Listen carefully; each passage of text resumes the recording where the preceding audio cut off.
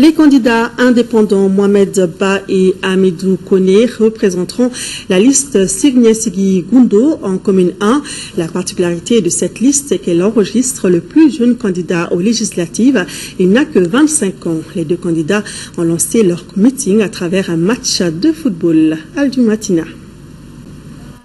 C'est sur le terrain du FC Amazon à Bulkasombougou qu'a eu lieu le meeting de Signy Gundo en vue de législative. La particularité de la liste Signesi Gundo est non typiquement tirée du tiroir est que non seulement les deux candidats sont indépendants, mais aussi et surtout c'est sur cette liste qu'on retrouve le plus jeune candidat à la députation. Il s'agit de Mohamed Ba, 25 ans, encore étudiant.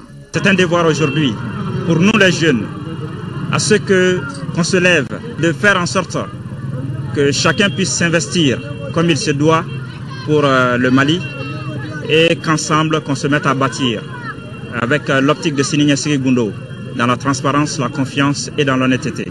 Ayant comme colistier ami de Z Kone, Mohamed Ba estime que sa participation aux législatives est un signal fort, non seulement pour la jeunesse de la commune 1, mais aussi pour celle du Mali.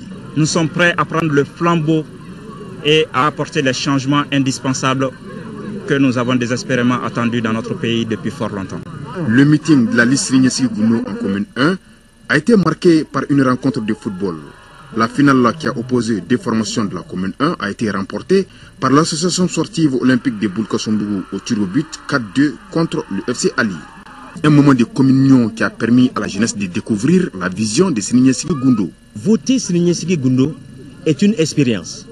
Laissez le soin aux jeunes de prouver aussi leur capacité. Et donc, nous pensons réellement apporter notre pierre de contribution. Car à notre niveau aussi, nous avions des projets de société. Et c'est ça qui motive réellement notre engagement.